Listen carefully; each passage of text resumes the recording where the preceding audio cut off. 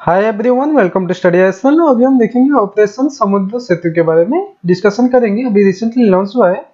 चलिए देखते हैं। सो so, ये जो है लॉन्च करने वाला कौन है? ना इंडियन नेवी ने लॉन्च किया है। ओके सो डिफेंस का जो इंडियन नेवी उसने लॉन्च किया है ऑपरेशन समुद्र सेतु। सो so, ये ऑपरेशन समुद्र सेतु लॉन्च करने का ये मतलब है हमारा जो है इंडियन सिटीजन से जो बाहर रहते, बाहर कंट्री में रहते ओके सो स्पेशली अभी जो फ़ेज़ वन ये चलेगा सो फ़ेज़ वन में क्या होगा ना, मालदीव से क्या है? सो इंडियन सिटीजन्स को इंडिया में वापस लाना, ठीक है? उसको बोलते हैं रिपैट्रिएट मीन्स स्वदेश लौटना, जो इंडियन सिटीजन से बाहर कंट्री में रहते हैं, जो, ठीक है? वो जो है इंडिया को लौटेंगे तो उनको बोलेंगे रिपैट्रिएट मीन्स स्वदेश लौटना। सो इंडियन नेवी ने लॉन्च किया ऑपरेशन समुद्र से तो इसका मीनिंग है sea bridge so Indian citizen जो मालदीप में है वो क्या है? उनको क्या है? बाय द नेवल शिप जो है दो शिप है एक तो हो गया आइनस जलोस्वा एंड आइनस मगर ये दोनों शिप ऐसे है.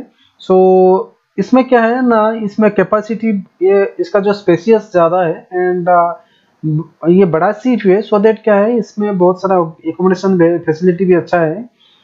एंड इंडियन नेवी का जो शिप है, ये दोनों आइनस जलोसा एंड मगर जो है, इन दोनों शिप से जो है माले से मीन्स मालदीप में जो माले है ओके सो वहाँ से क्या है वन थाउज़ेंड जो है पीपल को पब्लिक को क्या है, ना इंडियन पीपल को लेके आएँगे।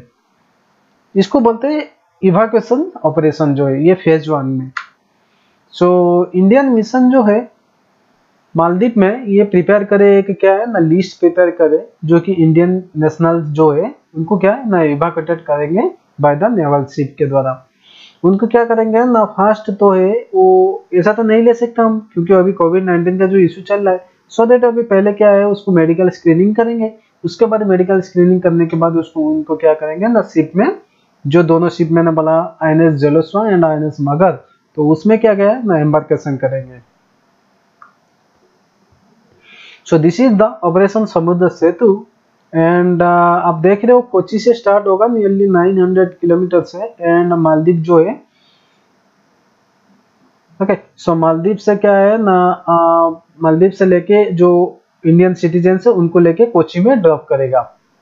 I N S and I S Magar so total nearly 1000 person जो है प्लान करे कि इवाकुएटेड करेंगे जो कि फास्ट ट्रिप में। सो उनको कैटरिंग कैटरिंग करने के लिए पहले तो वे उनको बताना ये क्या है ना सोशल डिस्टेंस जो है, उसको मेंटेन करेंगे। And carrying capacity medical facility available है जो दोनों शिप में बहुत अच्छी तरह। एंड शिप में जो है, ये सुइटेबल प्रोविज़न है, जो कि इवाकुएशन ऑपरेशन के लिए मैंने पहले से बता दिया। इसमें बड़ा शिप है सो देट यहाँ पे स्पेसियस है, यहाँ पे एकोमोडेशन अच्छी तरह हो सकता है। 1000 पीपल के लिए। सो इवाकुएटेड पर्सन को जो है ये बेसिक जो अम्यूनिटी दिया जाएगा medical facility during the sea passage में दिया जाएगा।